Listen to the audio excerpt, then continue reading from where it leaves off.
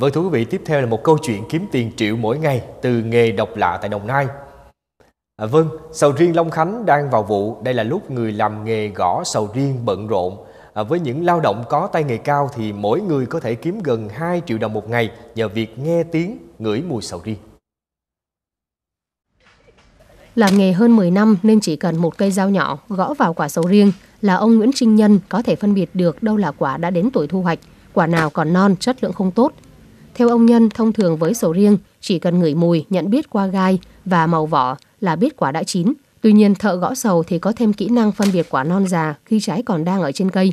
Trước khi trở thành thợ gõ chuyên nghiệp có mức thu nhập hơn 1,5 triệu đồng một ngày, ông Nhân phải trải qua quá trình học hỏi kinh nghiệm, học từ nhiều người đi trước, rong ruổi khắp các địa phương trồng sầu riêng và thậm chí phải trả giá đắt cho những lần gõ nhầm. Sau vài năm, ông Nhân mới tự tin hành nghề. Để tôi làm mười mấy năm rồi. À, ở dưới hết mùa lên đây thì có riêng ta kêu đi ờ, cắt. À, tôi cắt à, tháng 50 triệu. Nắng thì nó trèo dễ dàng, mưa tơn tợt cây cao quá. À, năm thì làm cả à, tháng nữa. Lên đây thì đây xong cái ra ngoài lắc lắc có hai tháng ở nghề tôi làm cũng ổn định Dụng cụ hành nghề gõ sầu riêng rất đơn giản, chỉ là một con dao cán cứng đủ sắc để cắt quả. Người thợ trèo lên cây sầu riêng lần lượt kiểm tra từng quả bằng cách dùng cán dao gõ vào phần vỏ. Mỗi quả sẽ cho một âm thanh khác nhau, giúp người thợ đánh giá được độ tuổi và chất lượng quả.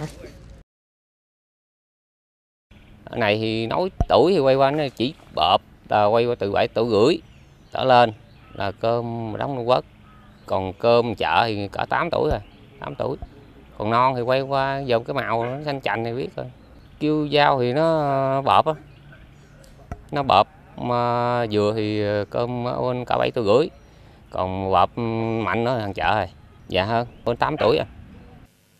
Vào nghề gõ hái sầu riêng được một năm, anh Nguyễn Thành Đạt cho biết công việc này tiền công cao hơn các nghề khác nhưng cũng rất gian nan Việc gõ sầu riêng tưởng chừng như đơn giản nhưng lại đòi hỏi người thợ phải có cái tâm, sức khỏe và sự tinh ý thì mới bám trụ được với nghề. Em cũng vào nghề mới được một năm thôi. Cứ cắt thì mình tay cắt trước, cái xong rồi tới Long Khánh mình, cái xong rồi qua các vùng Tây Nguyên, Đắk Lắk, Đắk Nông.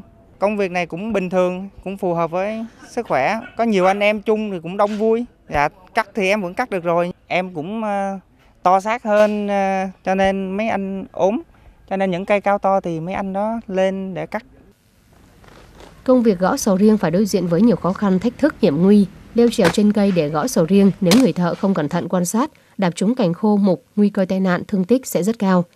Để an toàn cả sức khỏe, đảm bảo kinh tế, người thợ gõ luôn phải nêu cao trách nhiệm trong công việc, cố gắng học hỏi kinh nghiệm mỗi ngày để gõ, hái chuẩn những trái đủ độ tuổi, đảm bảo chất lượng và an toàn sức khỏe.